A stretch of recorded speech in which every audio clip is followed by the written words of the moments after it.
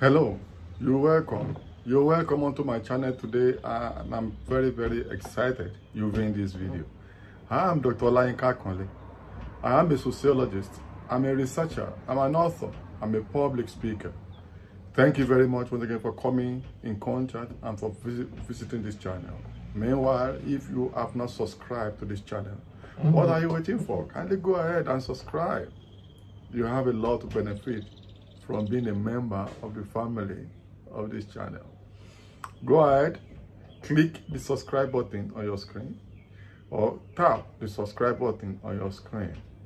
If you have subscribed previously to this channel, thank you very much for staying tuned. Well, I want to address, I want to, I'm making this video essentially to talk about ethno methodology. You know, my last video was on micro and macro sociology, the meanings, the differences, and the implications, the importance, you know, for research and for sociology. And I did mention in that in that video that I would drop videos on theories in sociology. I haven't, set the background well, in context of a uh, macro sociology because theories can be macro and they can be micro. So it can be macro, they can be micro. So and uh, so I'm starting with ethnomethodology, which is a micro theory because ethnomethodology looks at, you know, small scale interpersonal relationship on how people, you know, construct meanings and through patterns of, of, of their interaction. So, you know, this is very important. It's about ethnomethodology, it's about everyday practices of people you know, as they interact and form social relationships. So ethnomethodology is very important. So it's the first one in the area of theory I want to address. And I've seen that a lot of people have problems in this area because ethnomethodology is relatively new, at least compared to maybe Marxism or structural functionalism. Those ones who've been there since the origin of the discipline itself. It's very important for me to mention that ethnomethodology you know, was popularized, was made popular by the American sociologist Harold Garfinkel. You know, Harold Garfinkel was, you know, can be considered as the most one of the most important figures of, of ethnomethodology. And it's actually his work in 1967, which he described as Studies in Ethnomethodology, published in 1967. That was like the the book that actually popularized, broke the ground for ethnomethodology.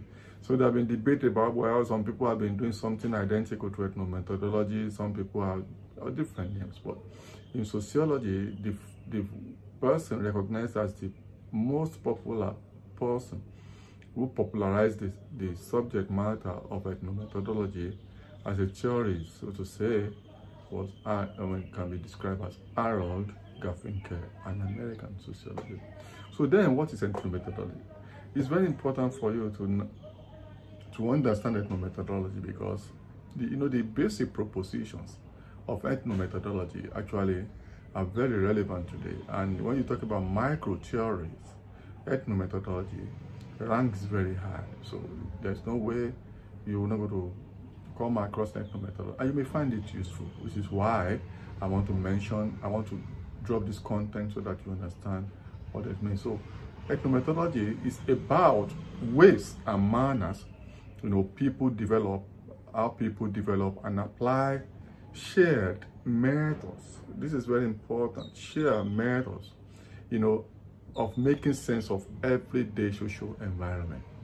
You know, how ways and manners people develop, evolve, and apply shared methods you know, of making sense of their social environment in everyday life. You know, of central to ethnomethodology is the method that people use. That's what you see, ethnomethodology.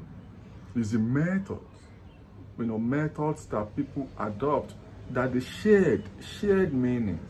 That is, they have common understanding of the methods that they use in making sense of their social environment.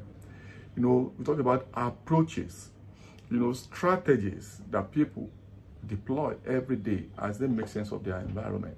You know, as people interact, the essence of everyday interaction is, is to make sense. Sometimes taking for granted common sense that people deploy as a sense. So these methods, approaches, strategies, you know, that they deploy, it's actually what makes the understanding of human action in their contextual environment possible. That's always okay. I'm not talking about prejudice now or stereotypes, but you can say, okay, these people behave like this. This is this is how they see this particular thing. This is their worldview, and this is how they interact to create these methods of of, of uh, making sense of their social environment. This is very important to ethnomethodology, and you have to be you have to be very important. That's why ethnomethodologists themselves have come to argue that ethnomethodology is a method, it's not a theory. You know, that debate is there, but still, generally speaking, in sociology, people still deploy ethnomethodology as a theory. Because what are theories, basically? theories are explanatory frameworks. These theories try to explain, and they bring propositions together. You know, I have a, I have a video on theoretical framework on this channel so you can view that and and best ways to, of, of understanding theory. So theories are explanatory frameworks. You know as people attempt to explain you know, but ethnomethodologists claim that ethnomethodology is a method. You know just it's, it's like a method through which people can understand social processes and human behavior. But since it's also still enables us to explain then people generally consider it as a theory so as people develop this method, ethnomethodologists want to understand the method, you know, uh, uh, that people use and understand the people through this. You know, it's about everyday practices of people. Ethnomethodology studies and try to examine and explain everyday practices of people as they interact and form social relationships.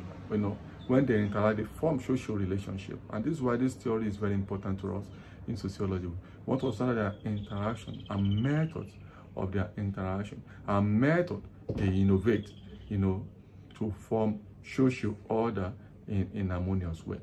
And another way you can understand ethno methodology is to break it down. Ethno means a unique social cultural group. Unique social cultural group ethno, unique social-cultural group, a group of people who share social-cultural identity and history.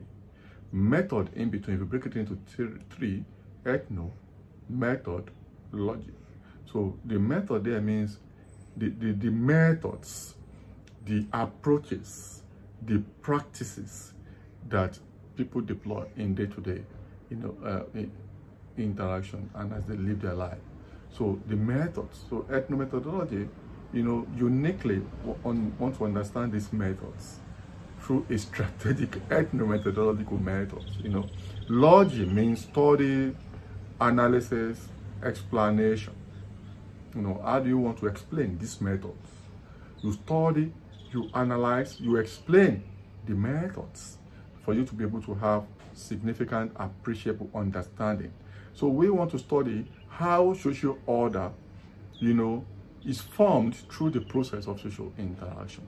Because don't forget, one of the basic elements, basic interest of sociology is to understand social order. I've mentioned it in my video on what is sociology and why is sociology important. I want to understand the order, how is order developed and how is maintained. So ethnomethodology also want to understand the patterns of these orders through the method that people deploy in their day-to-day -day interaction as a process. So I've mentioned that people, that methodologists believe that they are not like theories, like social action, but they are just giving a method, giving classifications of people's social action. Want to classify as people are relating, you look at the power distance. When you begin to talk about power distance, that's why actually ethnomethodological. Because you're looking at how people are creating shared meanings through through their method. Power distance can give you a sense of the method that people use. In terms, you can even understand the conversation, how people converse, the kind of words they use. In fact, conversational analysis is a major element. It's among the strongest elements of ethnomethodology. Conversational analysis. You study the language of people, the content of the languages, the structure of the languages, and the patterns, the methods through which the languages are used in context. So you classify. Ethnomethodologists classify people's action and even actors. So not just the meaning, but the processes of, of creating, of creating the meanings. You know, like we say in micro sociology, essentially we're interested in contextual interpretation. So ethnomethodology is also is ethnomethodology is very subjective. You know, ethnomethodologists, even ethnomethodologists study sociologists themselves, study ethnomethodologists, study the reports, the publications of sociologists to understand the processes of, pro of producing these researches, these outputs, these publications. We want to understand it. What are the methods and why, how is the method leading to these productions? So it's not just about the meaning, it's not just about the output, but the processes, the methods of creating it. What are the things going on in the minds of people and in the action of people? How are they creating these meanings?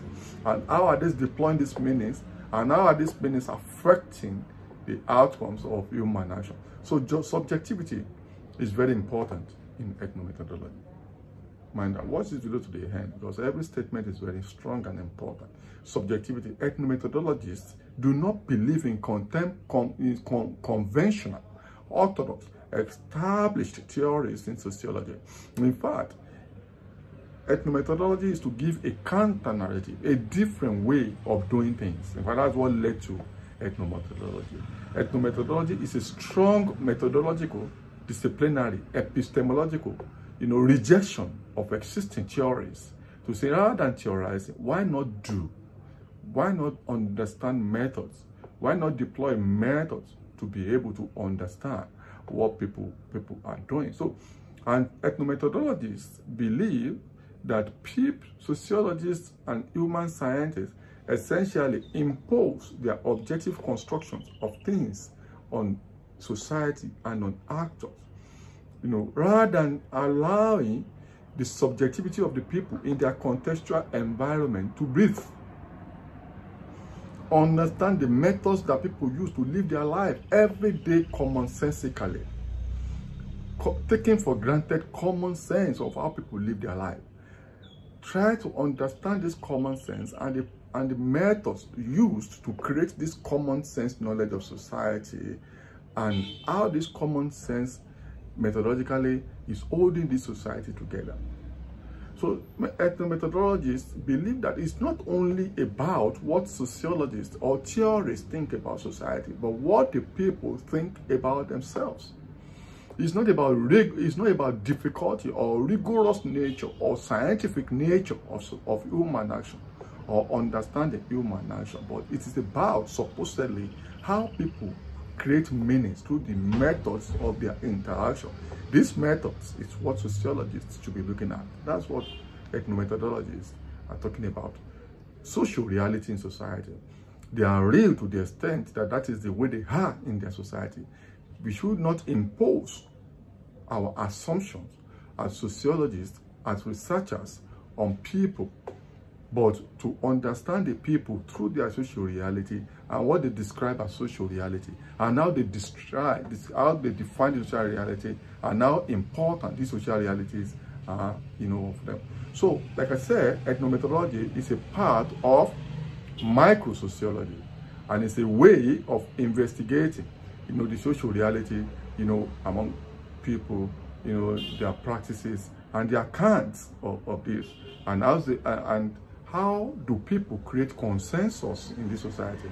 What are the methods of interaction in this society? And how do this create the consensus in this society? So, disruption in such societies are important. And what are the processes and methods of these disruptions?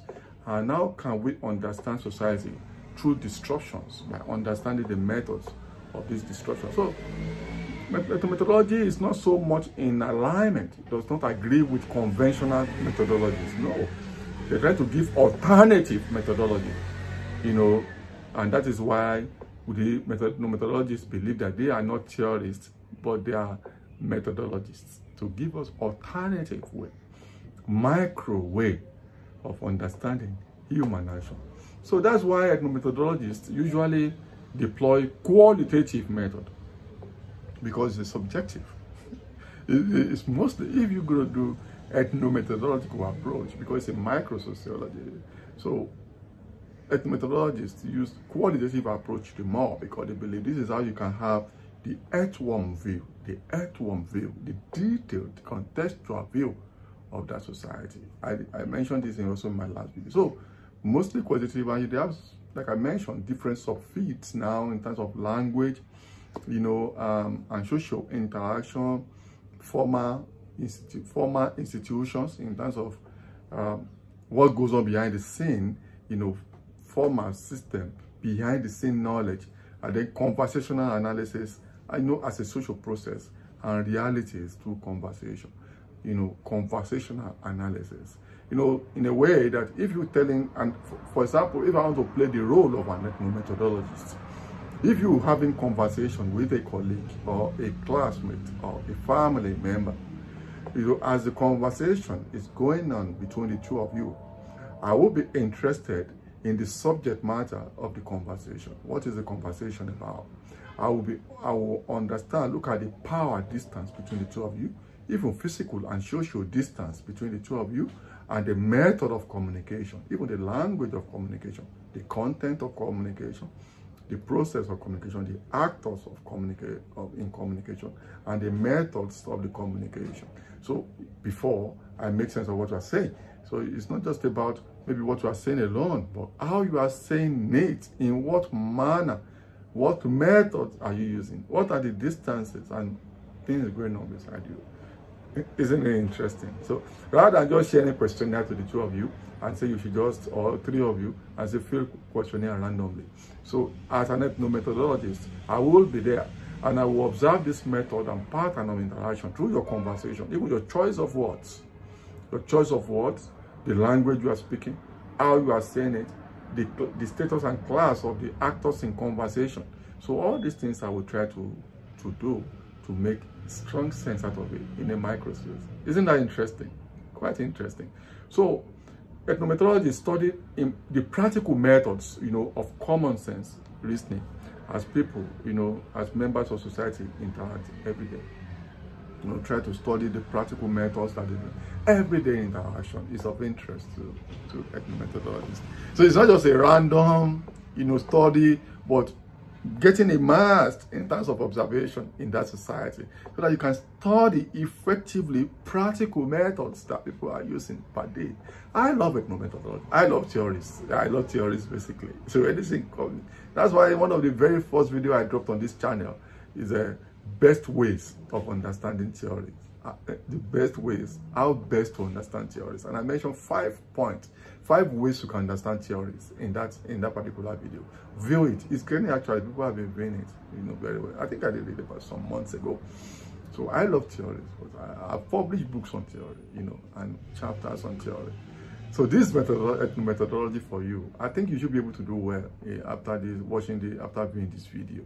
So kindly subscribe to this channel. Tap the subscribe button on your screen click the subscribe button on your screen and tell others this channel is a it's a, it's, it's a resource pool for you as a sociologist, as a researcher, and some other things. Thank you very, very much for being. Until I see you in my next video, i am going to drop another video on another theory. I'll do a series on theories, you know, in your best interest. Thank you very much.